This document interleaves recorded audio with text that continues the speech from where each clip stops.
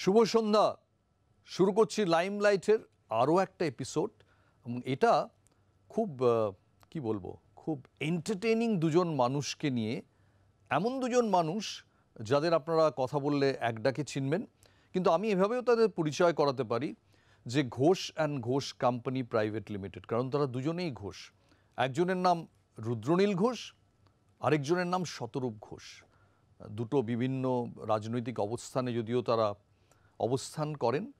কিন্তু আমি একটু আগে দেখলাম, এই জাস্ট আমাদের শ্যুট শুরু হওয়ার আগে, যে তারা জমিয়ে আড্ডাও মারছিলেন। আড্ডাও মারেন, বিরোধও করেন। শতরূপ, আপনারা সবাই জানেন, টেলিভিশনে নিয়মিত দেখা যায়। সোশ্যাল মিডিয়া কিং বলা যেতে পারে ইয়াংস্টারদের মধ্যে, এত বেশি ফলোয়ার্স আর সিপিএম এর স্টেট কমিটি মেম্বার আর রুদ্রনীল ঘোষকে কি বলব? যেমন চুটিয়ে অভিনয় করেন, এত বছর ধরে করে যাচ্ছেন, তেমনি আবার চুটিয়ে রাজনীতিও করছেন। এখন বিজেপির এই কালচারাল ব্রিগেডের তিনি কালচারাল কমিটির কনভেনার বকলমের সর্বেসর্বা আর এর আগে অ্যাকচুয়ালি কিন্তু দিদির রাজত্বেও দুটো গালভরা পদে ছিলেন। পদ ছাড়া কখনো ছিলেন না। সে রুদ্রনীল ঘোষ আর শতরূপ ঘোষ। আজকে রাত্রিরে আমার অতিথি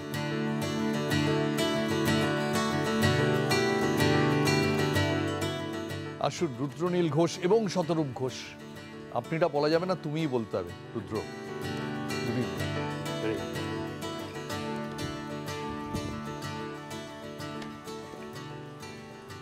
যে রাজত্বে যে কমিটি হয় তুমি সবসময় চেয়ারম্যান টেয়ারম্যান থাকো। মানে এটা এটার ব্যাখ্যা রহস্যটা কি? শতরূপের কাছে কোনো ব্যাখ্যা আছে? না রুদ্রদার ব্যাখ্যা রুদ্রদাই দিক আগে। না, তুমি একটু আমার প্রথমে বলাটা ঠিক না। আমি এবং আহ, শতরূপ বসে যে আলোচনা করছিলাম সেটা পশ্চিমবঙ্গের একটা দূষণকে নিয়ে। আহ, কারণ আগে- আগে বলা হতো গঙ্গা দূষণ পরিবেশ দূষণ এখন আমরা টেলিভিশনে দূষণ দেখছি। আমরা একটু ছবিটা দেখি তাহলে। দূষণ তোমরা যেটা আলোচনা করছিলে। বাধ্যতা আপনি শিকার। বাধ্যতা স্লোগানটার শিকার। শিকার। এটা কিন্তু রুদ্র একটা বেশ ইন্টারেস্টিং এপিসোড রোজ ইডি নিয়ে যায় আর হাসপাতালে এবং এমন একটা যেন ব্যবস্থা করে রাখে যে সাংবাদিকরা একটু দূরে থাকবে অথচ থাকবে কোথাও না কোথাও বুমটা ধরে দেবে। এবং পার্থ রোজ একটা হালকা কিছু একটা সংলাপ বলবেন। এর মধ্যে একটা কোনো অভিনেতার ব্যাপার আছে? উনি কোনো বিরোধী রাজনৈতিক দলের কথা বলছেন না।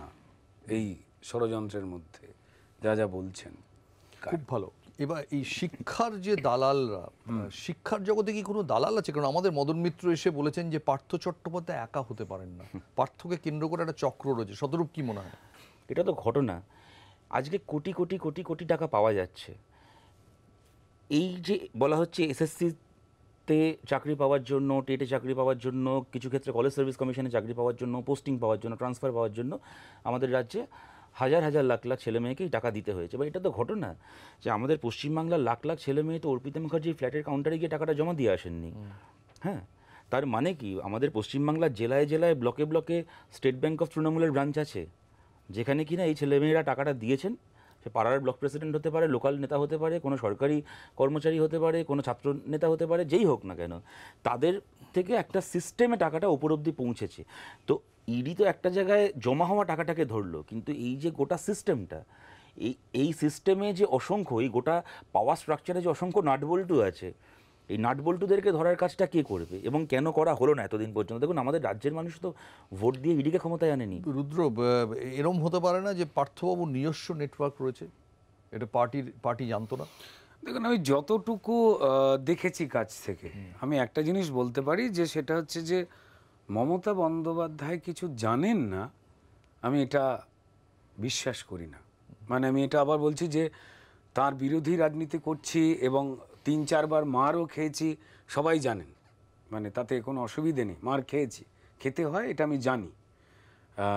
যারা সত্যি কথা বলছেন বা যারা পশ্চিমবঙ্গে নিরপেক্ষ মানুষ, তিনি রাজনীতি করেন না। তিনিও যদি চোখে আঙুল দাদা যদি করে দেন, তিনিও আক্রান্ত হচ্ছেন। বিরোধী তারাও, বরং বড় বিরোধী তারা, যারা নিরপেক্ষ এবং সাধারণ মানুষ। তো মমতা বন্দ্যোপাধ্যায় জানেন না এমনটা কোনো কিছু নয়, উনি সব জানেন। আর কেউ পার্থদার চেহারা নিয়ে কথা বলছি বলে একদম ভুল বুঝবেন না। আমি এই ধরনের কথা বলতে চাই না বলিও না। পার্থদা কিন্তু একটা মানুষের নাম নয়। অনেকগুলো জড়ো হওয়া মানুষের নাম পার্থদা যাকে দেখতে পাওয়া গেছে যিনি এই মুহূর্তে আমরা দেখতে পাচ্ছি তার কি হালত হয়ে রয়েছে। শতরূপ যে কথাটা কটা মানুষ আছে পার্থদার আড়ালে? আর কি? কতগুলো নাম হতে পারে? প্রচুর নাম থাকবে। এবং এটা আবার বলছি, এটা সংগঠিত। মাননীয় মুখ্যমন্ত্রী বিভিন্ন জায়গায় গিয়ে বলছেন না, যেটা দু হাজার ষোলোর সময় থেকে বলা এই একুশের সময় সোচ্চারে বলেছেন, ষোলোতে অতটা না হলেও, যে ভুল হলে ক্ষমা করে দিন। এই যে একটা মিষ্টি কথা, যখন ভুল পরিকল্পিত হয়, তখন ওটা ভুল থাকে না, ওটা অন্যায় হয়। অন্যায় ক্ষমা করা যায় না। এবং আমরা প্রত্যেক পাড়াতেই, যারা যারা আমাদের আড্ডা শুনছেন যারা তৃণমূলের, তৃণমূল করতে আসা যে কোনো মানুষকে তিন বছর আগে দেখেছেন ছেঁড়া হাওয়াই চটি পরে ঘুরতে, গলায় লোকনাথের মাদুলি, আজকে তার গলায় আর কি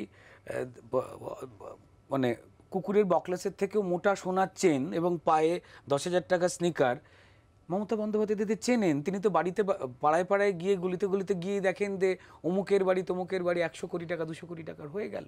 তাই এটার সঙ্গে জড়িয়ে রয়েছে সবাই এইভাবেই দলটা চলে। এই দলটার রক্তটাই হচ্ছে টাকা। কিন্তু এরকম তো হতেই পারে। মমতা বন্দ্যোপাধ্যায় যেদিন গেলেন সেদিন আমি পুরনো চেনটাকে বের করে ওইটা পড়লাম লোকনাথের মালা আবার পড়লাম আবার ইয়ে পড়লাম। মমতা নিজে তো হাওয়াই চুটি। গৌতমদা একটা কথা আপনাকে বলছি। ভোটের আগে আমি বলব দুশো চুরানব্বইটা আসনেই আমাকে দেখেই ভোট দিন। আমি দায়িত্ব নিচ্ছি। I am the sole custodian ভোটের পরে যখন একটা ঘটনায় ফাঁসবো, তখন আমি বলব যে আমি ওকে চিনি না, ওখানে কি হচ্ছিল আমি জানি না ওরটা আপনি বুঝে নিন, আমাকে ছেড়ে দিন।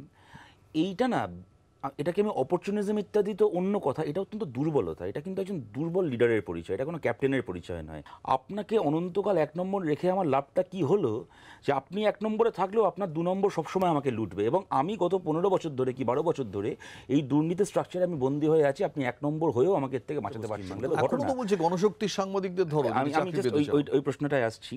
এটা ঘটেছে এবং এটা ঘটেছে দেখতে পেয়েই বা ঘটছে কিছু ক্ষেত্রে দেখতে পেয়েই তো এসএসসি এলো করতে ছিল না তো এসএসসি। সাতানব্বই সালে জ্যোতি বসু তো স্কুল সার্ভিস কমিশন তৈরি করলেনই এই জন্য যাতে সিপিএম এর নেতা স্কুলের মাথায় বসে চাকরি দিতে না আচ্ছা, পারে। রুদ্র কি পরিষ্কার মনে করো যে এই যে বারো হাজার সিট মতন এগারো বারো হাজার যে সিটগুলোতে বেনিয়ম হয়েছে এটা পুরোপুরি পার্টির মদতে হয়েছে? বিশ্বাস করো এটা?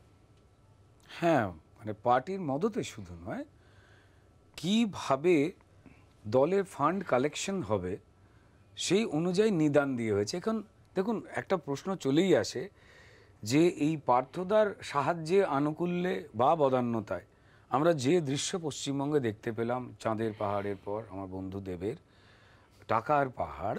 চাঁদের পাহাড় দেব টুও করেছিল এটা চাঁদের পাহাড় থ্রি হ্যাঁ মানে পাহাড় আর চাঁদকে এটাই নিয়েই তো আলোচনা চলছে। কিন্তু এটা বিভূতিভূষণ লেখেননি। না হ্যাঁ এনারা বিভূতি ধরেরা লিখেছেন যা যা বিভূতি ছড়াচ্ছেন তারা। তো আমরা প্রকাশ্যে এটা শুনেছি যে যা তোলার হবে বাজার থেকে তুলুন এবং তুলে পঁচিশ শতাংশ পার্টিকে দিন। তাই তো বা পঁচিশ শতাংশ রেখে পঁচাত্তর শতাংশ পার্টিকে দিন। এখন প্রশ্ন এখানে বারবার উঠে আসছে। প্রশ্ন হচ্ছে যে তুমি কি অর্পিতাকে চিনতে? তুমি তো অনেককে চেনো ফিল্ম ওয়ার্ল্ডে হ্যাঁ হ্যাঁ অর্পিতাকে আমি চিনতাম বলতে যেভাবে পার্থ দ্বারা চেনার সুযোগ পেয়েছেন বা যেভাবে মদন দ্বারা বঞ্চিত হয়েছেন বলে দীর্ঘশ্বাস ফেলছেন আমি সেইভাবে চিনতাম না। আমরা একটা কবিতা শুনব যদি সেই কবিতার ক্লিপটা একটু দেখতে পারি। বুদ্ধিজীবী। ও বুদ্ধিজীবী। ও বুদ্ধিজীবী লেখক কবি ঘুমিয়ে গেলেন নাকি? বলি ও বুদ্ধিজীবী লেখক কবি ঘুমিয়ে গেলেন নাকি? ভাতা পেয়ে দাতার ভয়ে লজ্জা পাওয়া বাকি? দিচ্ছ কাকে ফাঁকি? বুদ্ধিজীবী আপনি নাকি বাংলার মুখ আপনারা সব বিবেক। অপশাসন করতে নিকেশ জাগিয়েছিলেন মানুষ। অপশাসন করতে নিকেশ জাগিয়েছিলেন মানুষ। এখন মুখে কুলুপ এঁটে ওড়ান কিসের মানুষ? শতরূপ দেখেছিলে? কবিতাটা শুনেছিলে? বাংলার মা বিশ্বে শুনেছিলাম। তো আজ মাটি জুড়ে এটা এটা এটা কোন বুদ্ধি? বুদ্ধিজীবীদের মধ্যে তো তোমার অনেক বন্ধু লুকিয়ে আছে। মানুষ চিনছে লুটে আমার বন্ধু আছে আহ, শতরূপেরও বন্ধু আছে গৌতমদারও বন্ধু আছে সবাই বন্ধু আছে। আমি গর্বিত যে পরিষ্কার তুমি আমাকে যা খুশি দলবদ্ধ বলে ছাপ টাপ দাও, যা খুশি করো। আমি আজকে এখানে, কালকে ওখানে যাইনি। তার মধ্যে একটা প্রত্যেকটা সময় তিন চার বছরের মিনিমাম গ্যাপ ছিল। আমার মনে হচ্ছে যে প্রাসঙ্গিক কোনটা হবে আমি সেই নিরূপণ করেছি। এটা আমার ব্যক্তিগত অধিকার, পশ্চিমবঙ্গের আর পাঁচটা সাধারণ মানুষের মধ্যে কিন্তু আমাকে তো কেউ চোর বলছে না, গৌতম দা। আমার মনে হয় যে আমি শতরূপের দিকে তাকিয়ে ওকে চোর বলতে পারব না। আমার মনে হয় বুদ্ধিজীবীদের কি চোর বলছে? তাও তো বলছে না। আমার যেটা সব থেকে বড় দুঃখ লাগে চোরেদের সঙ্গে আমোদ করে বসে রয়েছে এবং চোরেরা যা বলছে কোনো পদ কোনো পুরস্কার কোনো সুবিধে কোনো বাড়তি লাভের জন্য চোরেদের কথায় তুমি হাততালি দিচ্ছ যারা পশ্চিমবঙ্গের সুখ শান্তি জীবন জীবিকা চুরি করছে। যেমন কয়েকটা তোমার হতাশার কয়েকটা নাম আমরা শুনতে পারি? এই আমি তুমি এক্সপেক্ট করেছিলে সে বলবে? আমি যেমন আমার আমার বন্ধু আমি সবার আগে এই পরমব্রত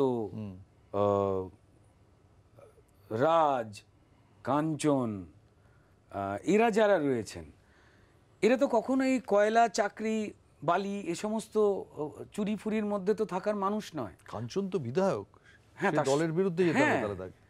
হ্যাঁ কিন্তু ঘটনাটা হচ্ছে যে যদি এরা মেনে নেয় এরা যদি থেকে যায়, তো তাহলে কোথাও যেন একটা মানুষ ওনাদেরকেই এই সিস্টেমটার অংশ বলে মনে করে নিচ্ছেন। কষ্ট করে নিজের যোগ্যতাতেই তারা যেটা যেটা তৈরি করেছেন, সেখানেও কোথাও একটা গন্ডগোল চলে আসছে, মানুষের দীর্ঘশ্বাস মাখামাখি হচ্ছে তাদের নামগুলোর সঙ্গে। এবং আমি চোরেদের সঙ্গে থাকতে চাইনি, বেরিয়ে এটা অপরাধ। সেটার জন্য যদি দল বদলি হয় ওয়েলকাম আমার মনে হয় যারা আমাকে এটা বলছেন, তারা একটুখানি সোশ্যাল মিডিয়াতে বা যে কোনো জায়গায় গিয়ে যারা যারা চুরি করেছেন তাদের নিয়ে দু এক কথা বলুন। ঠিক এইখানে আমরা নিচ্ছি একটা ছোট্ট বিরতি। কোথাও যাবেন না, অনেক ইন্টারেস্টিং বিষয় আমরা এক্ষুনি ফিরব। না বাট রুদ্রনীল ঘোষ, তুমি নিজে বিজেপির কালচারাল সেলের কনভেনার আমার বন্ধু রাজও কিন্তু তৃণমূলের কালচারাল সেলের কানবে না আমি বলব রাজ অনেক বেশি সাকসেসফুল বিকজ বুদ্ধিজীবী আনতে পেরেছে। তুমি তো বুদ্ধিজীবী তাহলে তৈরি করো টানো বুদ্ধিজীবী। বিজেপির বুদ্ধিজীবীরা কেন প্রতিবাদ করছে না? বিজেপির কেন বুদ্ধিজীবী নেই? কে বলল? আছে। গৌতম দা প্রথম দেখো একটাই কথা বলি এটা কাকতালীয় হতে পারে। যে মুখ তো সবার আগে প্রথমে আমি খুললাম বুদ্ধিজীবীদের হয়ে। শুধু এই কবিতাটা না তার আগের দিনে এই অপশাসনের বিরুদ্ধে যে মিছিলটা ছিল ধর্মতলায় আঠাশে জুলাই, সেখানে সাড়ে তিনটের সময় আমি সকালবেলা কবিতাটা লিখেছি, সবাইকে চুপ করে থাকতে দেখে এবং তারপর আস্তে আস্তে অপর্ণা সেন থেকে শুরু করে বাকি যারা সকল কোট আনকোট যারা পশ্চিমবঙ্গের মানুষের বিবেক হয়ে হাতে মোমবাতি নিয়ে কথা বলেন, রাস্তায় নেমে, যারা ব্যস্ত হয়ে পড়েছিলেন বা মোমবাতির দোকান বন্ধ ছিল, তারা আমার প্রণম্য। তারা আস্তে আস্তে কথা বলা শুরু করেছেন। তো তাহলে হুইসেল ব্লোয়ারটা তো হয়ে গেল পরিষ্কার। বিজেপি কালচারাল সেলের রুদ্রনীল ঘোষ, আমার বন্ধু রাজ চক্রবর্তী তো হতে পারলেন না। তাকে তো লড়াইটা করতে হচ্ছে বিশ্বাসেন কোম্পানির সঙ্গেই। শতরূপ রুদ্রদার এই কবিতাটা আমি রেখে দিয়েছি সেভ করে। এরপরে যখন তিস্তা শীতলবাদকে মিথ্যে বিচারে জেলে আটকে রাখা সুধা ভারদ্বাজ থেকে শুরু করে আপনার এই- আমাদের গোটা দেশের এতজন ইন্টেলে ভারভারা রাও থেকে শুরু করে এদেরকে জেলে শুকিয়ে মারাকে নিয়ে যখন মিছিল হবে বা মনে করুন ব্যাপন দুর্নীতি নিয়ে যখন মিছিল হবে তখন যদি রুদ্রদা না আসে সেই মিছিলে তাহলে রুদ্রদাকে যদি আমি হোয়াটসঅ্যাপে এটা পাঠাতে পারি এই কবিতাটা। শতরূপ তো এটাও বলছে যে তিস্তা শীতলবাদের ঘটনায় তোমায় পাওয়া যাবে না তখন তোমাকে বিজ্ঞাপন দিতে হবে। রুদ্রনীল ঘোষ কোথায় আছেন আপনি? আমি পশ্চিমবঙ্গে প্রচুর ঘটনাতেও বলতে পারি যেখানে প্রসঙ্গ তুলতে পারি কিন্তু আমার নিজের মনে হয়েছে যে এই মুহূর্তে পশ্চিমবঙ্গের যে অবস্থা রয়েছে সেখানে গিয়ে আকচাকচির মধ্যে যে যুদ্ধটা লাগাতে চাইছে তৃণমূল তার অনেক বেশি সাকসেসফুল হয়ে গিয়ে ফাঁকতালে বেরিয়ে চলে যাবে। অর্থাৎ দুই পুলিশ ঝগড়া করুক চোরকে কে ধরবে এই সুযোগে আমার চোর পাড়া দিয়ে কাটবে। এইরকম একটা পরিবেশ তৈরি করার চেষ্টা যে সেই ফাঁদে বোধহয় পা না দেওয়াই ভালো। মানে তুমি কি চাইছো সিপিএম এর সঙ্গে জোট? না একদমই তো নয়। যদি আজকে যদি শতরূপ বলে আমরা যখন ইন্টারভিউ দিচ্ছি এই সময়টা রাত ঠিক আছে? যদি দুজনেই একমত হই এই বিষয়টাতে তার মানে কি পরিষ্কার? ওর দলের হয়ে আমি কথা বলছি না আমার দলের হয়ে ও কথা বলছে? একদম নয়। আমরা কথা বলছি পশ্চিমবঙ্গের মানুষের সমস্যাটাকে নিয়ে। এই সমস্যা যে অস্বীকার করবে সে তো পশ্চিমবঙ্গের মানুষের বিরুদ্ধে কথাবার্তা বলছে। তোর ওয়ার্ডে জিনিস জিজ্ঞেস করি এই শুভেন্দুকে নিয়ে ইডি সিবিআই চুপ কেন? তোমার ব্যাখ্যা কি? শুভেন্দু শুভেন্দু অধিকারী এখন বিজেপিতে আছে বলে। যে ভিডিওতে আমি ববি হাকিমকে টাকা নিতে দেখেছি মদন মিত্রকে টাকা নিতে দেখেছি সেই ভিডিওতেই শুভেন্দু অধিকারীকে শঙ্কুদেব পণ্ডাকেও টাকা নিতে দেখেছি। কিন্তু গ্রেপ্তার হয়েছে ববি হাকিম মদন মিত্র গ্রেপ্তার হননি শুভেন্দু অধিকারী শঙ্কুদেব পণ্ডা রুদ্র কবিতা তোমার কাছ থেকে কি আশা করা যাবে যে প্রশাসন কেন্দ্রীয় প্রশাসন ইডি আপনারা একটা কথা আছে যে Caesar's wife should be above suspicion. যে এসো শুভেন্দুকেও একটা ট্রায়ালের মধ্যে দেওয়া হোক। রুদ্রনীল ঘোষের পেন তো পার্থর জন্য থাকছে। কেন আমাদের- শুভেন্দুর জন্য থাকবে না? আমাদের দেশে না আজকে আমি রুদ্রদাকে এম্বারেস করতে চাই না কিন্তু এটা ঘটনা রুদ্রদা is not in a position to say if I ask him now যে রুদ্রদা তুমি গ্যারান্টি দিতে পারো? পার্থ চট্টোপাধ্যায় জেল থেকে বেরিয়ে সামনে লোকসভা ভোটের আগে যেরকমভাবে মুকুল রায় গেলেন বিজেপিতে যেরকমভাবে অর্জুন সিং গেলেন বিজেপি নেতাকে খুন করার অপরাধে অভিযুক্ত অর্জুন সিং যেভাবে বিজেপিতে ফুলমালা চন্দন পরে গেলেন কালকে পার্থ চট্টোপাধ্যায় বিজেপিতে যেতে চাইলে তুমি রুদ্রনীল ঘোষ এখানে দাঁড়িয়ে বলো যে আমি দায়িত্ব নিচ্ছি পার্থ চট্টোপাধ্যায় কি পার্থ চট্টোপাধ্যায়ের সঙ্গে যাদের যাদের নাম উঠে আসছে স্ক্যামে কেউ বিজেপিতে আসতে পারবে না। রুদ্রদাটা বলতে পারবে না। এবং বললেও আজকে মতো বলতে পারবে দু বছর পরে সেই বক্তব্যে কোনো দাম বল- থাকবে বলতে পারবে এটা? আমি কমরেড জ্যোতিষী হয়ে গেলেন আমি এটাতে একটুখানি বিস্মিত হয়েছি। না ও তো জ্যোতিষী হয়নি ও তো কতগুলো তথ্য হ্যাঁ প্লেস করেছে। আমি তো নিজে আমি নিজে যেমন বিশ্বাস করি যে আগামী পাঁচ সাত বছরের মধ্যে যেমন মানে সারা দেশে আর কি শতরূপদের সরকার হয়ে তুমি এড়িয়ে যাচ্ছ তুমি খালি বলো যে আমি এড়িয়ে যাচ্ছি। এসএসসি কাণ্ডে অভিযুক্ত কেউ আগামী দিনে বিজেপিতে আসতে চাইলেও আমরা নেব না। মুকুল রায়কে যেভাবে কি অর্জুন সিংকে যেভাবে নিয়েছিলাম কি শঙ্কুদা পণ্ডাকে যেভাবে নিয়েছি। না নেওয়া হবে না তো। তাহলে এদেরকে নেওয়া হলো কেন? কাদেরকে নেওয়া হলো? শঙ্কুদেব পণ্ডা থেকে শুরু করে শুভেন্দু অধিকারী থেকে শুরু করে অর্জুন সিং অর্জুন মুকুল রায় পরপর নেওয়া হয়েছে। হ্যাঁ নিশ্চয়ই অবস্থানগত কিছু পরিবর্তনের জন্য নেওয়া হয়েছে কিন্তু তাদের নেওয়ার পরের জায়গায় কেউ দেখতে পায়নি কিন্তু রুদ্র বাইনাকুলারে দেখা যাচ্ছে না টেলিভিশন স্ক্রিনে দেখা যাচ্ছে তারা যে যে কাজকর্ম করতেন তারা যে যে কথাগুলো বলতেন যেভাবে তারা চলতেন একটা দলের কর্মী হিসেবে তারা অন্য দলে আসবার পরে তারা সেই পদ্ধতিতে তো চলেন না। তাহলে তো সেই যুক্ত দাউদ ইব্রাহিমকেও দলে নেওয়া যায়। দলে আসার পরে আর কোনো খারাপ কাজ করবে না। না না না। তুমি যে কথাটা রুদ্রদা খুব প্রত্যয়ের সঙ্গে বললে কথাটা মিথ্যে নয় যে তোমার বিরুদ্ধে রাজনৈতিক অভিযোগ কারোর থাকতে পারে কিন্তু তুমি যখন একটা সরকারি চেয়ার সামলেছো তোমার বিরুদ্ধে কোনো দুর্নীতির অভিযোগ ওঠেনি। এই প্রত্যয়ের সঙ্গে এই কথা তো মুকুল রায় বলতে পারেন না। সরকারি চেয়ার না সামলেও এত দুর্নীতির অভিযোগ উঠেছিল শঙ্কুদা পণ্ডার নামে যে পশ্চিমবাংলায় আমরা তো সেই সময় ছাত্র আন্দোলন করতাম যে সময় শঙ্কুদাও টিএমসিপি লিডার ছিল পশ্চিমবাংলায় তুমি ভাবো কতটা পাওয়ারফুল ছিল একজন শিক্ষামন্ত্রী সিদ্ধান্ত নিয়েছেন দু সালে অনলাইন অ্যাডমিশন হবে বলে। তৃণমূল ছাত্র পরিষদের নেতা শঙ্কুদেব পণ্ডার পছন্দ হয়নি। যে অনলাইন যদি অ্যাডমিশন হয় তাহলে অ্যাডমিশনের টাকা সেই জন্য খাওয়াটা বন্ধ হয়ে যাবে। মন্ত্রিত্ব চলে গেল। মন্ত্রিত্ব চলে গেল। মন্ত্রিত্ব চলে গেল। এত- পার্থ এটা- তো পরিষ্কার একটা দলের তার তো নিয়ম অনুযায়ী তিনি একজন পালন করে তাহলে পার্থ চট্টোপাধ্যায় কালকে বলবেন যে আমি নিয়ম অনুযায়ী দুর্নীতি করছিলাম বিজেপি দেশে আমি ভালো লোক হয়ে না যাব। না না ও তো দলীয় জায়গায় পালন করেছে পুরো মানুষ মেরেছে। যদি কেউ একদম যদি যেটা হয়ে থাকে পার্থ চট্টোপাধ্যায় যা যা করেছেন আমরা এখনও জানি না ওদের দলই বলে দিচ্ছে। ওদের দল ওদের আচ্ছা তাকে বিভিন্ন জায়গা থেকে আচ্ছা, সরিয়ে দিয়ে প্রমাণ করছে যে মানুষ যে কথাগুলো বলছে সেগুলো ঠিক। এটা একটু মেরেছেন, হয়ে যাচ্ছে। অধিকারী মানে। এটা অধিকারী- এটা রুদ্রর পক্ষে একটু না, না, না, embarrassing আমার- ছিল। আমি রুদ্রনীল ঘোষকে পাচ্ছি না। না, কিন্তু আমি জানতে রুদ্রর কাছে আরও ইম্পর্টেন্ট প্রশ্ন যে পার্থ ঘটনাটা তোমার যদি খুব সংক্ষেপে তোমার মতো তুমি কি বুঝেছ যদি একটু বলো খুব সংক্ষেপে। যে কি বুঝলে? পার্থটা কি হয়েছে এক্স্যাক্টলি আমার নিজের এখানটায় পরিষ্কার মনে হয়েছে যে এটা একটা সংগঠিত পশ্চিমবঙ্গে শিল্প নেই, হাজার গ্লোবাল সাবিট মাবিট করে কিছু লোককে খাবার দাবার আর গাড়ি ভাড়া টেন্ডার পাইয়ে দেওয়া হয়, যেটা ঘুরে আবার পার্টির মধ্যে ঢোকে। এবং হয় কি, টুনটুনিকে দেখতে আসছে সবাই, মিষ্টি চাফা খেয়ে যাচ্ছে, কিন্তু টুনটুনির আর বিয়ে হয় না। টুনটুনি আইবুড়ি হতে হতে বয়স হচ্ছে। এ দুর্ভাগ্যজনক। কিন্তু টুনটুনিকে দেখতে আসে লোক, ওইখানে সাধন মিষ্টান্ন ভাণ্ডারের বিল খালি বেড়ে যাচ্ছে প্রত্যেক ব্যাপারে। যে টুনটুনির একদিন বিয়ে হবে। যেমন ডেউচা পাচামি হলে মানুষের জীবন বদলে যাবে পশ্চিমবঙ্গে এত কাজ হবে যে অন্য রাজ্য থেকেও লোকে কাজ করতে আসবে নাকি? তো এই ঘটনাগুলো তো চলছে। টুনটুনির শ্বশুর মশাই বাবা কি পার্থ কি? এইভাবে দেখা যেতে পারে যেমন ছোটবেলায় রূপকথার গল্প শুন রাজার ঘরে যে ধন আছে টুনির ঘরে সে ধন আছে আর পঁচাত্তর পঁচিশ পার্সেন্টের হিসেবে দাঁড়াচ্ছে যে টুনির ঘরে যে ধন আছে রানীর ঘরে তার সেভেন্টি ফাইভ পার্সেন্ট আছে কারণ ওখানে পঁচিশ এসছে যদি আমরা দেখতে পাই যদি পঁচিশ 75% তাহলে পঁচাত্তর যে। ট্রাঙ্ক দেখেছি সেটা পঁচিশ। দলীয় হিসেব সবে যতটুকু এখনও দেখতে পেয়েছি বা দেখতে পাবো যেগুলো চোখের সামনে পঁচিশের বোধ হয় পঁচিশ সেগুলো পঁচিশের মধ্যে কিছু।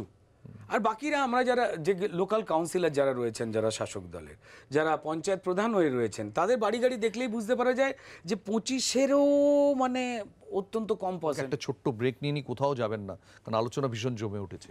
ফিরছি বিরতির পর এখন আপনাদের একটা প্যাকেজ দেখাবো যাদের মধ্যে হয়তো কোনো বুদ্ধজীবী সেভাবে পাবেন না কিন্তু সেই ঘরানাটা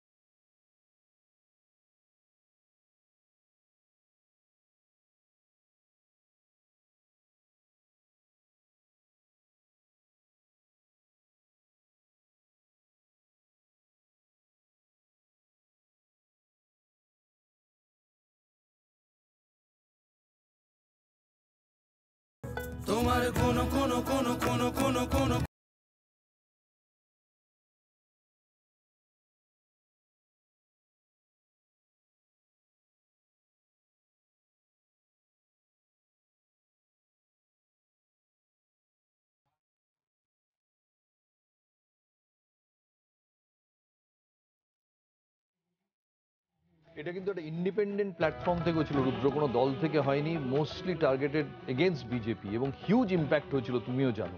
এই গানে যারা অংশ নিয়েছিলেন, তারা অনেকেই তোমার বন্ধু বান্ধব কি মনে হয়েছিল গানটা দেখে? না, আমার এই গানটা দেখে মনে হয়েছিল যে তৃণমূলকে খুব যত্ন করে সাপোর্ট করার একটা গান ছিল। এবং যে কারণে পশ্চিমবঙ্গে ঠিক যে যে অন্যায়গুলো চোখের সামনে ঘটছিল, আমার যে যে বন্ধু বান্ধবরা এই ভিডিওতে তাদের দেখতে পাওয়া গেছিল তারা কিন্তু তৃণমূলের সবকটি মঞ্চে উপস্থিত থাকতেন এবং একটি অন্যায়কেও এখানে তুলে দেওয়া হয়নি এবং খুব বুদ্ধি করে সেটাকে অমিট করা হয়েছিল। ঠিক আছে? কিন্তু আমি একটা কথা বলছি রুদ্র। এখানে আমি দুজন আমি জাস্ট দেখলাম অনির্বাণ রুদ্রপ্রসাদ সেনগুপ্ত। এদের কিন্তু আমি তৃণমূলের কোনো মঞ্চে দেখিনি। না সেটা তো সবসময় দেখতে তো লাগে না। না ইনফ্যাক্ট গৌতমদা আমি বলছি রুদ্রদা হয়তো ভুলে যাচ্ছে এই গানে এমন অনেকে আছেন যারা কিনা ঘোষিতভাবে তৃণমূলের বিরুদ্ধে বহু প্রশ্নে অবস্থান নেন। রাহুল দা আছে ওখানে বেনুদা আছেন সব্যসাচী চক্রবর্তী আছেন ওখানে। অরুণবাবুকে দেখলাম এক্ষুনি অরুণ মুখোপাধ্যায় বহু প্রশ্নে অবস্থান নিয়েছেন। আচ্ছা চন্দন সেন আছেন হ্যাঁ? সুতরাং এইটা বলাটা একটু আনফেয়ার হবে। আমি বলছি যে এখানে কি আদপে এটা কি তোমরা বানিয়েছিলে? তোমাদের তো আমি- টুম্পাশোনা ছিল। আমি যতদূর জানি যে ইনিশিয়েটিভটা নিয়েছিল পরমব্রত দ্বারা কয়েকজন। কিন্তু তাতে এরকম অনেকে ছিলেন যারা কিনা যেমন পরমব্রত দা বা এরা কয়েকজন আছেন যারা কিনা ঘোষিতভাবে তৃণমূলের পক্ষে অবস্থান নেন তেমন এরকম অনেকে ছিলেন যারা বিভিন্ন প্রশ্নে তৃণমূলের বিরুদ্ধে অবস্থান নিয়েছেন। সুতরাং এটা জেনারেলাইজ করাটা ঠিক হবে বলে আমার মনে হয় না। তাহলে বেনুদার অবস্থানটাকে বা চন্দন সেনের অবস্থানটাকে বা রাহুলদার অবস্থানটাকে অরুণবাবুর অবস্থানটাকে ছোট করা হয় বলে আমার হ্যাঁ, মনে হয়। না একদমই ঠিকই। যা যা বলছে সেটা হয়তো ওর দিক থেকে ঠিক। কিন্তু এই ভিডিওটা আবার যদি কেউ চালিয়ে দেখেন তাতে ভিউও ভিউও বাড়বে ভালোই হবে। কিন্তু এখানে এই আবার চালাও আবার তুমি দেখি ভিডিওটাতে কোনো জায়গাতেই আমি অনেকবার চালিয়ে দেখেছি যে এটা নিরপেক্ষ ভিডিও কিনা। না না এটা বিজেপির বিরুদ্ধে ভিডিও। এক মিনিট। বিজেপির বিরুদ্ধে ভিডিও হতেই পারে। যে কোনো রাজনৈতিক দলের মানুষ অন্য রাজনৈতিক দলের বিরুদ্ধে গান গাইবেন কথা বলবেন তো আছেই তো হয় হচ্ছে তো। কিন্তু এখানে খুব সুচতুরভাবে তৃণমূলের বিরুদ্ধে মানে তৃণমূল যে যে অন্যায় বা অঘটন ঘটাচ্ছে পশ্চিমবঙ্গের সমস্যাটাকে চূড়ান্ত দক্ষ এই গানটা আরেকবার একটু অল্প দেখে নেব খুব ছোট্ট করে একটু দেখে নি গানটা কিন্তু খুব ইন্টারেস্টিং ছিল আমি একটু বলব। সুরেলা আমি অন্য কোথাও যাব না আমি এই দেশেতেই থাকব।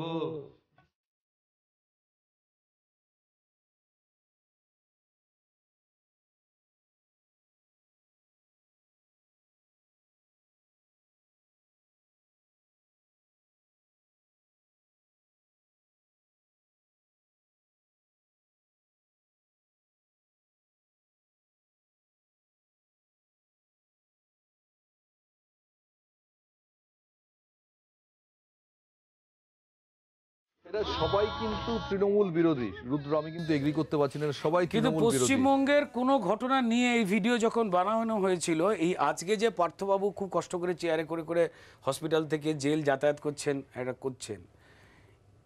আজকে তো ঘটনাটা ঘটেনি তার অনেক আগে থেকেই ঘটনাগুলো ঘটছে এবং সেই সম্পর্কে অনেকেই জানেন কিন্তু ঘটনাটা হচ্ছে যখন এটা বানানো হয়েছিল যাতে বিজেপি এই রাজ্যে ক্ষমতায় না আসতে পারে এইটা করতে গিয়ে রাজনৈতিক ফলাফলে যেমন সিপিএমের বিপদও হয়েছে আমরা ফলাফলে দেখেছি। বিপদ। আমি অন্য মানে তুমি বলছো এই গানটা লেখার পেছনে শতরূপেরও হাত থাকতে পারে। না, আমি আমি না না অত অত প্রতিভা থাকলে আমার হয়েই যেত। না, না, না না রুদ্রদার সাথে আমি একটা ব্যাপারে একমত। আমি খুব আন্তরিকভাবে এটা বলছি এটা ঘটনা। যেমন এই অনির্বাণকে যেখানটায় দেখালেন গৌতম দা এই যে তার আগের শটটাতেই আমি দেখলাম যে রক্তকরবী বইটা একজন ধরে আছেন। তারপরে সেটাই অনির্বাণ এসে বললেন। তো এটা ঠিক যে যখন আজকের দিনে আমরা দেখছি যে অনির্বাণ অনির্বাণ হয়েই রয়ে গেলেন উনি রক্তকরবী রঞ্জন হতে পারলেন না। রাজ্যের প্রশ্নে বা বিভিন্ন প্রশ্নে এটা ঘটনা। তবে আবার এটাও ঘটনা দেবে এটা তো কোনো মানে ফাস্টফুড সেন্টার নয় যেখানে এগরোলও থাকতে হবে পকোড়াও থাকতে হবে চাউমিনও থাকতে হবে। একটা বিষয় নিয়ে একটা গান তৈরি হয়েছে ডেফিনেটলি তার বাইরে আরও একশোটা বিষয় আছে। সেটাকে নিয়ে আরও একশোটা কি দেড়শোটা গান তৈরি হতে পারে। কিন্তু একটা গানকে এই বলে নেগেট করা যায় না যে এই গানটার মধ্যে এইগুলো এইগুলো এইগুলো কেন নেই?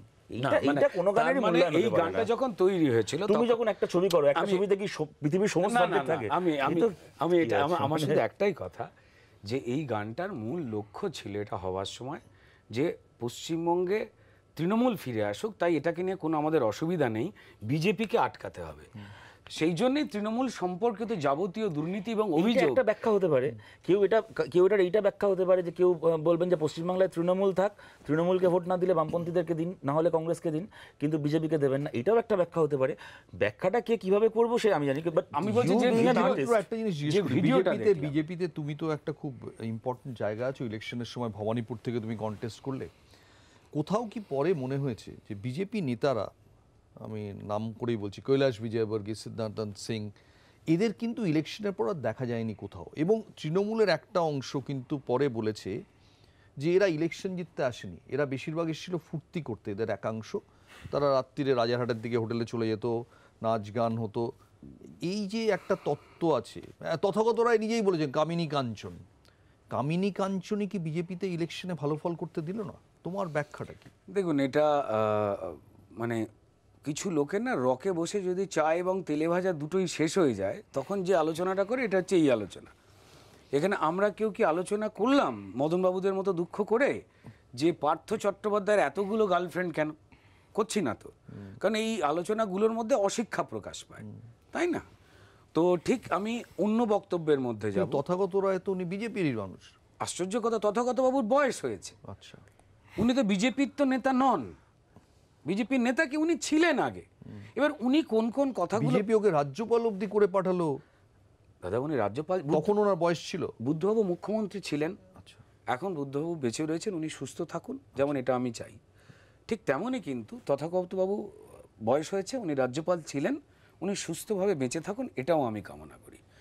এবং তথাগতবাবু যদি এই সমস্তগুলো ওনার এত কিছুই উনি জানতেন তাহলে সেই সময় দাঁড়িয়ে উনি কি করেছিলেন? আমি এই প্রশ্নটা তুলতে পারি। তারা রেসপেক্টেড মানুষ, এর বাইরে আমি কোনো ঘেঁটে কথা বলব না। তবে একটাই কথা বলব এটা সময়। যে যখন সীতারাম ইয়েচুরি, প্রকাশ কারাত, বৃন্দা কারাত, সুরজিৎ সিং বার্নালা, এই ধরনের মানুষরা যখন আসতেন, যদি কোনো পার্টি একটু বড় হয়, যখন তাদের সর্বভারতীয় জায়গাতে তাদের প্রতিনিধিত্ব করবার রাজ্য বা কমিটি যদি থাকে, তখন যে কোনো নির্বাচনে সেই ভাষার মানুষগুলো আসবে। খুব স্বাভাবিক। আসবে কিন্তু কখনো সর্বভারতীয় সিপিএম এর বিরুদ্ধে এই ধরনের অভিযোগ ওঠেনি যে তারা ফুর্তি করতে তার কারণটা হচ্ছে যে এই অভিযোগটা তুলতে তো হবে পরিষ্কার তৃণমূলকে তুলতে হবে। কারণ যাদের বাড়িগুলোই হোটেলের মতো তাদের তো হোটেলে যাওয়ার প্রয়োজন পড়ে না। এবার মুশকিলটা তো এখানেই একজন কেন্দ্রীয় স্তর থেকে এত বড় একটা দেশের এত বড় একটা পার্টির তার যখন নেতারা আসবেন প্রচুর নেতারা রয়েছেন তারা সাধারণ তৃণমূল নেতার বাড়ি দেখেছে হোটেলের মতো? কার কার নয় বলুন তো? মানে বলো আমি বুঝতে পারছি না। কার নয়? কার নয়? মমতা বন্দ্যোপাধ্যায়ের বাড়িটাকে ওপর থেকে টালির চালটা রাখতে হয়। আমি ভেতরে ঢোকার কথা আর বলছি না। এই যে হাওয়াই চটিটার কথা বললেন, প্রচুর যারা মমতা বন্দ্যোপাধ্যায়ের ভক্ত মানুষ রয়েছেন, তিনি কিন্তু প্রায় দেড়শো টাকার হাওয়াই চটিটা পড়েন না। তার অনেক দাম যেটা পশ্চিমবঙ্গের এইটটি পার্সেন্ট লোকের কেনবার ক্ষমতা নেই। এর বাইরে আমি কিছু বলতে চাই। এত কিছু তুমি কি করে জানলে রুদ্র? হুম? এত কিছু কি করে জানলে তুমি? ঠিক যেভাবে জানতে পারা যায় যে এই যে না, সতর্ক হাওয়াই চটিটা তো কুণাল ঘোষই লিখেছিলেন। এটা বিখ্যাত ওনার ফেসবুক পোস্ট ছিল।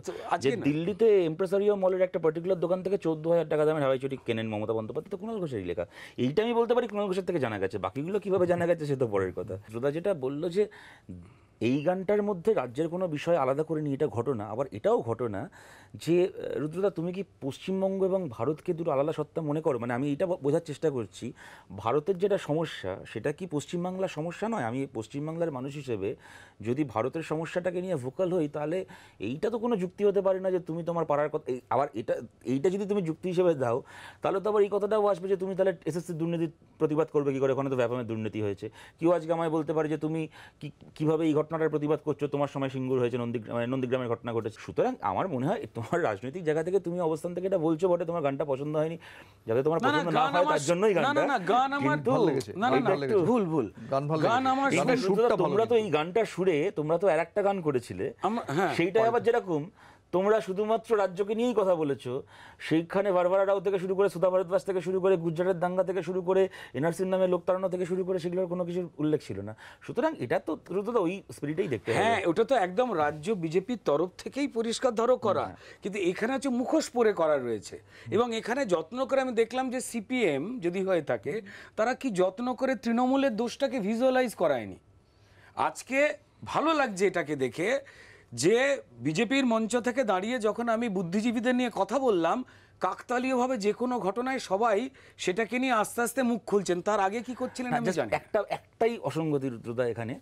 এই গানটায় তুমি যাদেরকে দেখলে যারা কিনা বামপন্থী বা ঘোষিতভাবে সিপিআইএম তারা আজকের তারিখে এই জুলাই আগস্ট মাসে পরম পরম পরম কিন্তু ওইভাবে নয়। কোনটা? না না আমি পরম পরম কথা বলছি না। আমি রাহুল বা চন্দন রুদ্র দা এক বা এদের কথা বলছি। অনেক দিনের বন্ধু পরমের অবস্থানটা কি? গৌতম আমি জাস্ট একটা সেন্টেন্স যদি বলে পরম নিই কোন যেটা আমি জাস্ট বলছিলাম একটা সেন্টেন্স মানে পরমের সঙ্গে রাজনৈতিক কোনো কথা আমার তুমি যে কথাটা বললে রুদ্রদা যে সিপিআইএম এই ভিডিও যারা আছে তারা কিন্তু আজও তৃণমূলের বিরুদ্ধে। তোমরা পাল্টা যে ভিডিওটা করেছিলে পশ্চিমবঙ্গ বিজেপির পক্ষ থেকে সেই ভিডিওটাকে লিড করেছিলেন যিনি বাবুল সুপ্রিয় তিনি এখন তৃণমূলের নেতা। সুতরাং সিপিএম এর লোকেরা ঠিক নিজের জায়গায় ঠিক আছে। পরম তাহলে যে পরম চলে গেল? পরম দা কোনোদিন সিপিএম ছিল না সিঙ্গুর নন্দীগ্রামের সময় মিছিল করেছে। তুমি এটা আমার থেকে ভালো জানবে তাহলে এটার সঙ্গে কি ছিল? এইটাও তো তৃণমূলের পক্ষ থেকে হয়তো উদ্যোগ নিয়েছিল কি নিজের ইন্ডিপেন্ডেন্ট জায়গা থেকে উদ্যোগ নিয়েছিল। Parambrata Chatterjee was never CPIM সিংহ তো ও তো আমাদের যখন গভর্নমেন্ট সেই সময় তো ওরা তো ফিল্ম ফেস্টিভ্যালের সময় ওখানে প্রোটেস্ট করেছিল ও তো চিরকালই আমাদের। পরমব্রত চ্যাটার্জি আবার সিপিএম হলো কবে? সেই জন্য ওই ভিডিওটা দিলো কি করে? সেটা ওকে জিজ্ঞেস করো আমায় কি করে? সব কিছুর পরে দিনের শেষে সবচেয়ে ইম্পর্টেন্ট যেরকম আমরা ফুটবলে বলি যে সবচেয়ে ইম্পর্টেন্ট শব্দ হচ্ছে গোল। তুমি যা ইচ্ছে করতে পারো। তোমার সারাক্ষণ মাঠে বিক্রম থাকতে পারে। এত কিছুর পরেও তুমি কিন্তু তিনবারে এত বলেছ ফেসবুকে তোমার এত ফলোয়ার্স এত ইয়ে। দিনের শেষে কিন্তু ওটা ফেসবুকেই সীমাবদ্ধ থেকে যাচ্ছে অ্যাকচুয়াল জায়গায় হচ্ছে না। ঠিকই। সেটা হচ্ছে না কেন ঠিকই এর- পেছনে একশো বার একশোটা কারণ থাকতে পারে আমরাও সেটাকে ইন্ট্রোস্পেক্ট করছি চেষ্টা করছি সংশোধন করার। আমি এই ক্রিটিসিজম মাথা পেতে নেব। আবার এটাও ঘটনা গৌতম দা আমরা তিনটে ভোটে হারার হ্যাট্রিক করেছি। প্রথমে চাল চুরি তারপর ত্রিপল চুরি তারপর ভ্যাকসিন চুরির হ্যাট্রিক করিনি। আমি কোনো অজুহাত দিচ্ছি না কিন্তু এটা ঘটনা গৌতম দা আপনি আজকে তাকিয়ে দেখুন একজন মন্ত্রীর একজন বান্ধবীর একটা ফ্ল্যাট থেকে যা টাকা পাওয়া যাচ্ছে। তাতেই আপনি আজকে খালি বলুন, আমরা যে রাজনৈতিক লড়াইটা লড়েছি এবং হেরেছি, তিনটে ভোটে হেরেছি, আমরা হেরেছি, আমি যদি প্রথম দু হাজার এগারো ভোটটা ছেড়েও দিই ষোলো এবং একুশে যে আমরা ভোটে হারলাম, আমরা কি হারলাম খালি একটা রাজনৈতিক দলের কাছে? নাকি এসএসসির টাকা, তার সঙ্গে বালি খাদানের হাজার হাজার কোটি টাকা, কয়লা খাদানের টাকা, গরু পাচারের টাকা, সোনা পাচারের টাকা, কাঠ পাচারের টাকা, বেআইনি পুকুর ভরাটের টাকা, বেআইনি প্রমোটিংয়ের টাকা, এই যে একটা গোটা মাফিয়া ড্রাগস পাচারের টাকা, গোটা একটা মাফিয়া সাম্রাজ্য চলছে আমরা তো হারলাম একটা মাফিয়া ওয়ারে একটা মাফিয়া দলের কাছে তো কোনো রাজনৈতিক দলের কাছে পড়া যায় না তা সত্ত্বেও গৌতম এটাও ঘটনা যে এর সমাধানটা আমাদেরকে অন্য কেউ খুঁজে এনে দেবে না। হয় আমাদেরকে দল ছেড়ে দিয়ে বা দল গুটিয়ে দিয়ে বাড়িতে বসে থাকতে হবে অথবা এর বিরুদ্ধেই লড়াইটা করে আমাদেরকে জিততে হবে। আমরা এখন অব্দি জিততে পারিনি কিন্তু আমরা জেতার চেষ্টা করছি। শতরূপ তোমার মানে কি বলব দার্শনিক গুরু যিনি বুদ্ধদেব ভট্টাচার্য তিনি তো চোরেদের মন্ত্রিসভায় থাকব না বলে বেরিয়ে গৌতম আপনি তো আমার থেকে ভালো এটা জানবেন যে বুদ্ধদারকে এই কথাটা বলতে পশ্চিমবাংলার একটিমাত্র খবরের কাগজের একটিমাত্র সাংবাদিক শুনেছিলেন এবং তিনি তার রিপোর্টে লিখেছিলেন।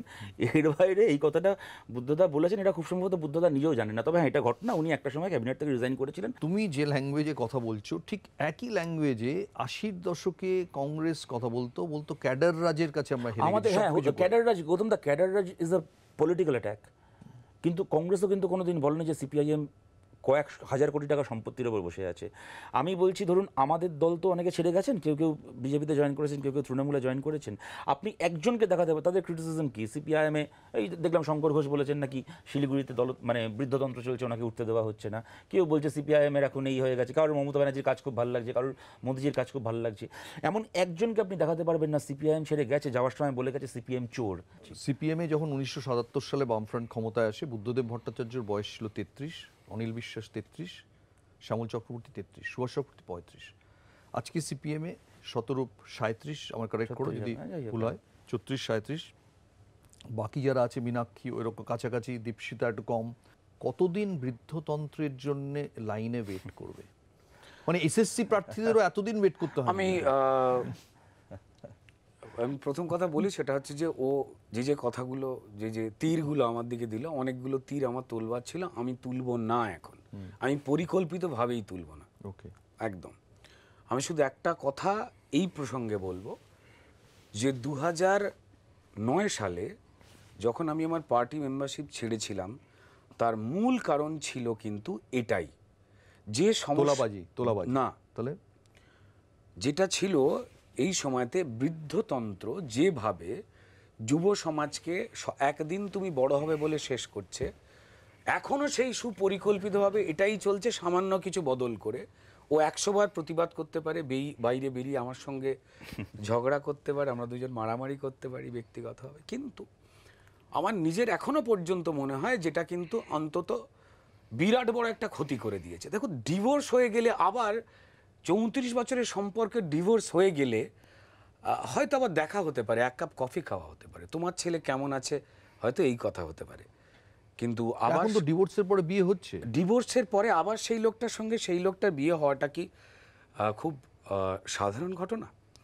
আমার নিজের মনে হয় যে আমি শুধু একটাই কথা বলব যেভাবে ভারতীয় জনতা পার্টির পক্ষে যে তত্ত্ব বা যে কোনো বিরোধীরা যে কোনো কিছুই বলতে পারেন অবশ্যই তাদের বলবার অধিকার আছে।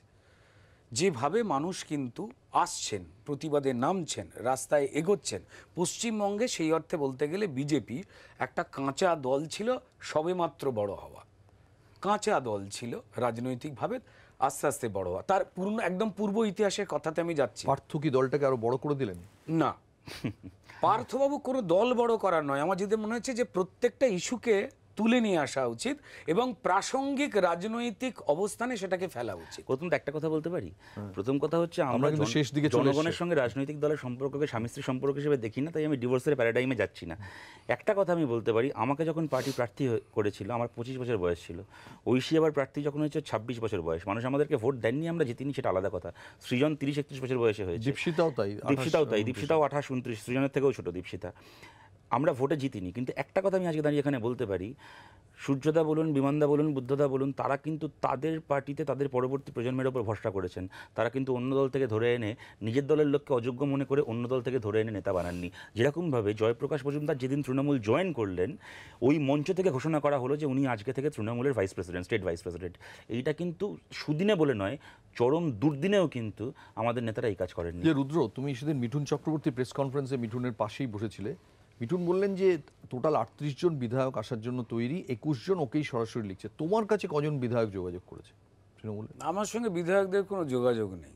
মানে কালচারাল সেলে কোনো বিধায়করা ইন্টারেস্টেড আমার যোগাযোগটা হচ্ছে পরিষ্কার যারা এই আমি তো দেড় বছর বেকার কারণ আমাকে আমার বন্ধুরা নিতে ভয় পায় না হলে হচ্ছে মমতা বন্দ্যোপাধ্যায়ের মঞ্চে তারা বসতে পারবে তুমি এখন পরমেশ্বরকে ফেলুদা সিরিজে করছ তো? এক মিনিট এখনও পর্যন্ত নয় এবং তার পরিপ্রেক্ষিত বা কারণ কি সেই বিষয়গুলো আমি এখানে বলতে চাই না গৌতম দা। প্রথম জায়গা হচ্ছে যদি কেউ ফিল করে থাকেন যে এই অন্যায়টাতে আর আমাদের সাহায্য করা উচিত নয় মানে তুমি টালিগঞ্জে কাজ পাচ্ছ না দেড় বছর আমি জবে থেকেই দু হাজার একুশ থেকে আমি জবে থেকে জয়েন করেছি। বিরোধী রাজনীতিতে বিজেপিতে জয়েন করেছি। তবে থেকে আজ অবধি আমি অ্যাকশন এবং কাট বলিনি। পশ্চিমবঙ্গের সমস্ত বড় পরিচালক এবং প্রযোজক যাদের কাছে আমি নাকি খুব ভার্সেটাইল অ্যাক্টার যে কোনো আমার অভিনয় দিয়ে নাকি মানুষকে মন জয় করতে পারি মন দিয়ে কাজটা করি। তারা সবাই কিন্তু ঘুরে ফিরে বিভিন্ন রকমভাবে একটাই কথা বলেছেন যে তুই মানে তৃণমূলের এগেনস্টে এত এইভাবে কথা বলিস না তাহলে কাস্ট করতে অসুবিধা হচ্ছে। এবং আমার আজকে হয় তোমারই বিজেপির অঞ্জনা বসু রেগুলার কাজ করছেন বিজেপির অন্য অনেকে দাঁড়িয়েছেন তারা কাজ করছেন। আমি এক মিনিট কোন যে কথাটা আসছে এই মুশকিলের কথা। দেখুন ডক্টর কুণাল ঘোষ চাঁদে জমি কত কাটা সেটা জানেন কিন্তু যাই হোক আমরা এখানে দুজন ঘোষ বসে থাকলেও উনি আমাদের থেকে তো অনেক এগিয়ে ওই ওনার উদ্ধৃতি তুলে পশ্চিমবঙ্গকে বিচার করলে উনি পরবর্তী মুখ্যমন্ত্রী। তো- তো সেটা হচ্ছে যে যারা যারা প্রকাশ্যে কথা বলছেন তৃণমূলের বিরুদ্ধে এই শব্দটা আমি কোট করেছি। যদি ভালো করে ঘেঁটে দেখেন দু হাজার কুড়ির ওই সময় থেকে আমি শতরূপ বা অন্যান্য যাদেরকে বলব আমাকে যখন তৃণমূল তাদের কোন একটা চেয়ার সামলাতে দিয়েছিল সেই সময় কিন্তু পশ্চিমবঙ্গের মানুষদের কাছে যা যা সুযোগ সুবিধে পৌঁছানো দরকার আমি শেষ অবধি কিন্তু প্রত্যেকটা মুহূর্তে কথা বলে গেছি এটাকে নিয়ে। যে অন্যায় হচ্ছে অন্যায় হচ্ছে। যারা মিথ্যে কথা বলবেন তারা বলবেন শুনিনি? যারা সত্যি কথা বলবেন যে হ্যাঁ ওই চেয়ারে বসেও আমি বলেছিলাম। কারণ আমার দায় পশ্চিমবঙ্গের মানুষের উপরে। হলো আমার বাকি বন্ধুরা বলছেন না। তোমার কোনো কাজ নেই? না আজ অবধি আমি শুটিং বলতে অ্যাকশন কাট এই এই অনেকদিন বাদে চব্বিশ টেলিভিশন চ্যানেল যখন আমায় ডাকেন এই ধরনের অনুষ্ঠানে শুনতে পাই। আমি এক টাকা রোজগার করিনি। আমার ব্যাংক এখন প্রায় তলানির দিকে চলে গেছে। হয়তো ফ্ল্যাট বেচতে হবে। এই ভায়োলেন্সটা কিন্তু বিরোধীরা সহ্য করছে। যদি তুমি মুখ বন্ধ করে কাজ করো গরুর মতো মাথা নামিয়ে রেখে দাও। দাসের মতো। তাহলে তোমার কাজ অতিরিক্ত কাজ মঞ্চে যদি ওঠো তাহলে তো পুরস্কার। সিনেমা হল নন্দন তুমি পাবে না। থিয়েটার হল সরকারি তুমি পাবে না। তুমি বঙ্গভূষণ হয়েছো? মানে যখন ভালো সময় ছিল? অনেক আগে একবার দু হাজার চোদ্দোতে বোধ হয় কিছু একটা বোধ হয় একবারই বোধ হয় পেয়েছিলাম চোদ্দোতে। তারপর এত আমি থাকার পরেও এত কথা বলা শুরু করেছি আমার নাম কেটে দেওয়া হয়েছে বোধ হয় তারপর আর পাইনি। কিন্তু এই- রাজ্যে, এই সরকারের আমলে শিল্পীদের জন্য তো অনেক কিছু হয়েছে। আজকে সেই শিল্পীদের জন্যই হয়েছে যে শিল্পীরা প্রচারে যান। দেখুন, মমতা বন্দ্যোপাধ্যায় অত্যন্ত দক্ষ রাজনৈতিক মানুষ। কৌশিকী চক্রবর্তী রিসেন্টলি বঙ্গবিভূষণ হয়েছেন কোন কোন প্রচারে গেছেন? কোন প্রচারে যায়নি? চুপ করে থেকেছেন। চুপ করে এটা চুপ করে থাকাটা তো একটা বড় অঙ্ক তো। বরঞ্চ তার বাবা অজয় চক্রবর্তীর বাড়িতে অমিত শাহ লাঞ্চ খেতে এসেছে হ্যাঁ কি মুশকিল। এটা- এটা এটা পারিবারিক একটা ইকুয়েশন এটা দুজন বলতে পারবেন। তাদের যোগ্যতার প্রতি সম্মান রেখেই বলছি যে এটা তারা বলতে তবে পারবে একটা অ্যাওয়ার্ড খুব সঠিকভাবে নির্বাচন করা হয় এটা আমি বলতে পারি সেটা হচ্ছে মহানায়ক সম্মান। তার কারণটা হচ্ছে ধরুন উত্তম কুমারের আমার আপনারও নিশ্চয়ই অনেকেরই খুব প্রিয় সিনেমা ধন্যী মেয়ে তাতে একটা বিখ্যাত ডায়লগ ছিল জমিদারের রোল করছেন উত্তম কুমার। বলতেন যে শিল্ড যেন গ্রামের বাইরে না যায়। মহানায়ক সম্মানটা কারা পায়? দেখুন দেব থেকে শুরু করে নুসরত থেকে শুরু করে সোহম থেকে শুরু করে শিল্ড কখনো গ্রামের বাইরে যায় না। সেদিক থেকে দেখতে গেলে মহানায়ক সম্মানের একমাত্র তো যারা নামের সাথে justice হয়েছে। যারা চুপ করে রয়েছেন তাদের জীবিকার আতঙ্কটা একটু কম। যারা প্রকাশ্যে কথা বলেন তারা যদি মুখ খোলেন, জিজ্ঞাসা করবেন যে তারা বোধহয় কথা বলেন না, হয়তো এটা হতে পারে যে আমার, আমি যেহেতু আমার বাবা মা মারা গেছেন, আমার ফ্যামিলিতে কেউ নেই, আমি একটা একা মানুষ বলে হয়তো আমার একটা বেশি জোর থাকে। যদি আমি আমার অসুস্থ বাবা মায়ের মুখের দিকে তাকাতাম, যদি আমার বাচ্চাটার মুখের দিকে তাকাতাম, তো যেই যে প্রেশারটা, পেট, পঁচাত্তর শতাংশ মানুষকে আমি নিয়ে নিয়েছি, আমি যে প্রসঙ্গে আসছিলাম। যদি আমি দু হাজার বদল দেখি, একটা রাজনৈতিক আন্দোলনকে পরিষ্কার শিল্পীদের যারা পশ্চিমবঙ্গের মানুষদের খুব প্রিয় এবং আস্থার হন ছিলেন তাদের সঙ্গে জুড়ে দিয়ে একটা আন্দোলন বড় হলো। মানুষ ভোট দিলেন সিপিএম চলে গেল চৌত্রিশ বছরের একটা সাম্রাজ্যের অবসান হয়ে গেল। তারপর মমতা বন্দ্যোপাধ্যায় কিন্তু জানেন যদি এই শিল্পীরা রাস্তায় নেমে যায় তাহলে খুব তাড়াতাড়ি তিনিও চলে যাবেন। তো ফলত তাই প্রথমে ভালোবাসা দাও দেখতে ভালো লাগুক কিনে নাও। নামলেই একটা গণ অভ্যুত্থান না আমি এটা বলিনি দাদা। ঘটনাটা হচ্ছে যে পশ্চিমবঙ্গ একমাত্র রাজ্য, বোধহয় একমাত্র রাজ্য আমি এটাই বলব, যে ঘরে বাচ্চার বয়স চার হয়ে গেলে, তখন কিন্তু তাকে ছবি আঁকা, নাটক, নাচ গান, আবৃত্তি, কবিতা, তবলা, গিটার, কিছু না কিছু একটা তার বাবা মা পোক করে, যে হয়তো পাড়ায় কখনো পর্যন্ত একটা জিন্সের ওপর পাঞ্জাবি পরে এবার গান গাইতে আসছে, মালতী বৌদি বৌদি কই বলে ডেকেছে ওই লোকটা। কিংবা যে ভদ্রমহিলা রান্না করছেন তিনি হয়তো টিভির দিকে হাঁ করে তাকিয়ে সিরিয়াল দেখতে দেখতে ভাবেন যে আমি ভারতনাট্যম শিখতাম ইলেভেন অবধি তারপর আমার বিয়ে হয়ে গেল। তিনি তার বাচ্চাকে কিন্তু পাঠান, এটা আমার রাজ্যে হয়। এবং যখন নির্বাচনী বৈতরণীতে বা কোনো রকম জায়গায় যখন শতরূপ আমি বা আমরা যখন পরিষ্কার কে কত ভালো এই নিয়ে যুদ্ধ লড়াই যখন করব, তখন এই ষাট শতাংশ মানুষ যারা রাজনৈতিক আলোচনা শুনতে চান না, তারা তখন খোঁজেন আমাদের প্রিয় মানুষগুলো কোন মঞ্চে বেশি করে দাঁড়াচ্ছেন। আর সেইখানে কিন্তু একটা আবেগের ভোট চলে এবং এটা মমতা বন্দ্যোপাধ্যায় অঙ্কটা জানেন। এবং সে কারণে কিন্তু তাদেরকে পদক সম্মান দিয়ে পরিষ্কার সম্মানিত করা এবং অ্যাকচুয়ালি ঘুরিয়ে কিনে নেওয়া, বিভিন্ন ভাতা দিয়ে। আর যারা পঁচিশ শতাংশ যে শিল্পী, লেখক, সাহিত্যিক যাদের কিনতে পারলেন না, তাদের পেটে লাথি মারো, মাথা নুইয়ে দাও পেটের কাছে। পেটে ভাত না থাকলে হরিপ্রসাদ চৌরাশিয়া বাঁশিতে সুর দিলেও আওয়াজ বেরোবে না, উনি জানেন। আর তাই সেটাকে নিয়ে বোধহয় আমাদের এক হওয়ার দরকার রয়েছে এই চৌর্যবৃত্তিকে হারাবার ক্ষেত্রে। একশোটা অভিযোগ আমি সিপিএমের বিরুদ্ধেও করতে পারতাম। আমার নিজের মনে হয়েছে যে এই সময়টায় সব থেকে বড় শত্রুকে আমাদের চিহ্নিত করতে হবে। বাকি উত্তর তো মানুষ দেবে সময় তো কে বলতে পারে যে একটা একটা বোঝাপড়া একটা কোয়ালিশন সিপিএম আর বিজেপিতেই হয়ে যাবে না? আমরা কেউ জানি না কিন্তু এই আলোচনা আমরা জানি হবে না। Ghosh and Ghosh company private limited বললাম যে এটা একটা আলোচনা চলতেই থাকবে। অন্তহীন মধ্যে আড্ডা কিন্তু আমাদের তো শো শেষ করতেই হবে। তাই আজকের লাইমলাইট অনুষ্ঠান এখানেই শেষ করলাম। রুদ্রনীলকে অনেক ধন্যবাদ শতরূপকে অনেক ধন্যবাদ। ঘোষ অ্যান্ড ঘোষ নয় অ্যাকচুয়ালি ঘোষ ভার্সেস ঘোষ হয়ে গেল। আশা করি আপনাদের ভালো লেগেছে। শুভরাত্রি।